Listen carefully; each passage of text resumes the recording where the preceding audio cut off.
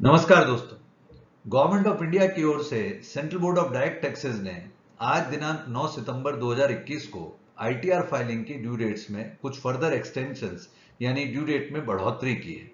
ये due date की बढ़ोतरी दोस्तों क्या है, इसका हम पर क्या फ़र्क पड़ सकता है, आइए आज की इस वीडियो में यही पॉइंट आपके समक्ष रखने की कोशिश करता हूँ।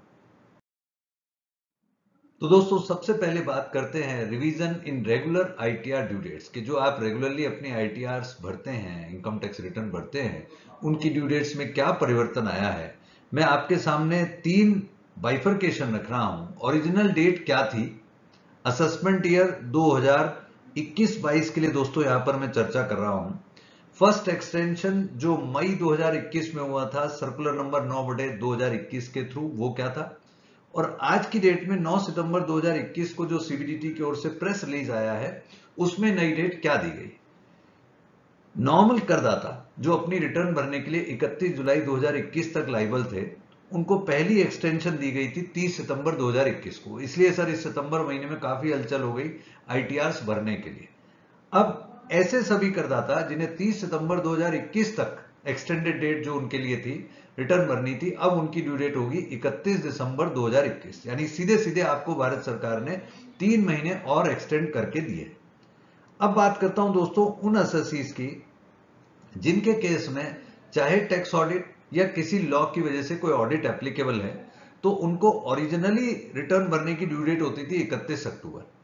मई 2021 में जारी हुए सर्कुलर से उनको ड्यू डेट दे दी गई 30 नवंबर 2021 और अब उनकी भी ड्यू डेट बढ़ा करके कर दी गई है 15 फरवरी 2022 तीसरी कैटेगरी जो ज़्यादातर जनता जनार्दन के काम की नहीं होगी, पर मेरा पॉइंट बनता है कि मैं आपके समक्ष उसको भी क्लियर करूँ, ऐसे एसएससीज जिन्हें ट्रांसफ़र प्राइजिंग की एक रिपोर्ट अपलोड करनी होती है, जिसे हम टीपी रिपोर्ट बोलते हैं अंडर सेक्शन 92 ई उनके लिए ड्यू डेट होती थी नॉर्मल में 30 नवंबर 2021 जिसे पहले 31 दिसंबर किया गया था।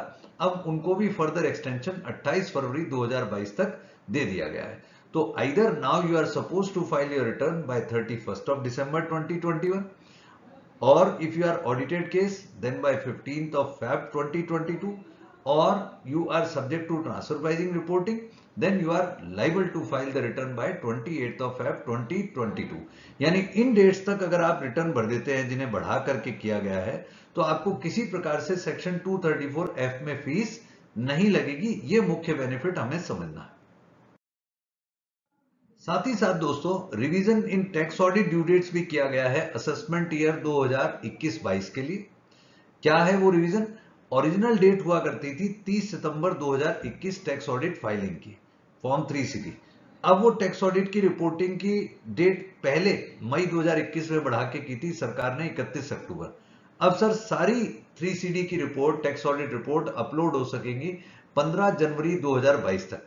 इसी को मैं ऐसा भी बोल सकता हूँ कि मान लीजिए आप ट्रस्ट है और आपके केस में फॉर्म टेन भी अपलोड होता है तो फॉर्म टेन भी आपका 15 जनवरी 2022 तक अपलोड हो जाना चाहिए। परंतु मेरी ये बात तभी लगेगी जिनके केस में कोई फॉर्म इनकम टैक्स लॉ के प्रोसीजर के हिसाब से आईटीआर फ़ाइल करने के संदर्भ में महत्वपूर्ण है और वो आईटीआर फ़ाइल करने से पहले भरा जाना चाहिए तो। अब बात करता हूँ दोस्तों आपसे revision in last date of filing belated और revised ITR for the assessment year 21-22 यानी वित्त वर्ष 2020-21 के लिए जब हम आज बैठ करके आईटीआर भर रहे हैं से असेसमेंट ईयर हुआ 21-22 तो उसकी लास्ट से लास्ट रिटर्न कब फ़ाइल हो सकती है? अगर आप रेगुलर टाइम लिमिट में नहीं भर पाए तो original last date revise return की या बिलेटेड रिटर्न की थी 31 दिसंबर 2021 जिसे बाद में मई 2021 में बढ़ा के किया गया 31 जनवरी 2022 और अब वो ड्यू डेट बढ़ा के कर दी गई है 31 मार्च 2022 तो एक प्रकार से मार्च 2022 तक भी आपसे फॉर एग्जांपल आपकी रेगुलर ड्यू डेट आ रही है 31 दिसंबर और अब आप 31 दिसंबर के बाद 31 मार्च तक यानी तीन महीने और मिलेंगे बिलेटेड रिटर्न के। अगर आप बिलेटेड रिटर्न उस पीरियड में भी भर देते हैं तो ऐसी परिस्थिति में आपको 234 एफ़ की फ़ीस अगर एप्लीकेबल हो जो 1000, 5000, 10000 हो सकती है उसके साथ भी आप अपनी बिलेट रिटर्न फाइनली 31 मार्च 2022 तक भर सकते हैं। हाँ रिवाइज रिटर्न के केस में दोस्तों ये कह सकता हूँ अगर ओरिजिनल रिटर्न आपने जो अभी मैंने ड्यू डेट्स डिस्कस करी, उनके अंदर भर दी है तो आप रिवाइज रिटर्न अगर 31 मार्च 2022 तक भी भरेंगे तो वो वैलिड होगी और उस परिस्थिति में आपको 234 एफ़ की फ़ीस नहीं लगेगी। दोस्तों revision in transfer pricing report due date हालाँकि मैंने पहले भी बोला कि ट्रांसफ़र प्राइसिंग का पॉइंट बहुत ज़्यादा जनता जनार्दन से जुड़ा नहीं है, पर क्विकली आपके सामने रखता हूँ कि टीपी रिपोर्ट जो सेक्शन 92 ई में जाती है, उसकी ओरिजिनल ड्यू डेट थी इकतीस अक्टूबर। जिसे मई 2021 में बढ़ा के किया गया 30 नवंबर, और फाइनली अब रिवाइज ड्यू डेट कर दी गई है 31 जनवरी 2022 दोस्तों, यहाँ एक बहुत इंपॉर्टेंट पॉइंट आपके सामने रखना चाहता हूँ, जो जनरली इग्नोर हो जाता है, कि where the self assessment tax liability exceeds rupees one lakh for the purposes of computing interest under section 234a the due date shall be recorded as the original due date only. It means what? Say, for example, किसी का self assessment tax after reducing TDS TCS advance tax जो tax due बचता है, उसे हम self assessment tax बोलते हैं। मान लीजिए वो डेढ़ लाख बच रहा और अब एक्सटेंडेड ड्यू डेट वो 31 दिसंबर की ऑप्ट करने वाले हैं, या उनके किसी वजह से 31 दिसंबर तक की रिटर्न भर रही है। अब उनकी ओरिजिनल ड्यू डेट थी 31 जुलाई, और वो सज्जन रिटर्न भर रहे हैं 31 दिसंबर तो बेसिकली उन्हें 234 एफ़ की फ़ीस तो नहीं लगेगी। लेकिन क्योंकि उन्होंने 31 जुलाई से रिटर्न लेट करी है तो अगस्त, सितंबर, अक्टूबर, नवंबर, दिसंबर, पाँच महीने का सेक्शन 234 ए में उनको ब्याज देना पड़ेगा। तो ये पॉइंट उन लोगों के लिए बहुत इंपॉर्टेंट है, जिनका सेल्फ असेसमेंट टैक्स लाइबिलिटी एक लाख से ज़्यादा है।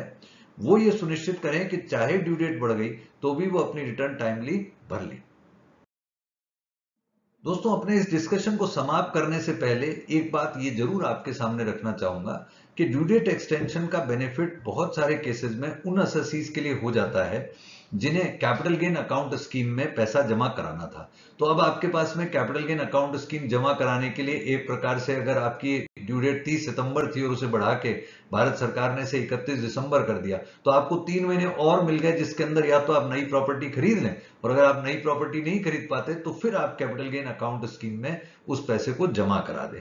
लेकिन सेक्शन 54 ईसी में छह महीने का जो टाइम पीरियड था वहाँ कोई एक्सटेंशन का बेनिफिट आप इस एक्सटेंशन से मेरी ओपिनियन में नहीं ले सकते।